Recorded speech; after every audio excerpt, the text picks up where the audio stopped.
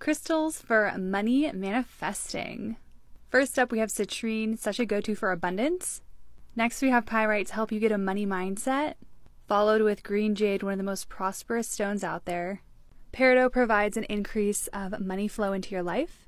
And last but not least, green aventurine for all the luck in your money endeavors. Which crystal are you most drawn to?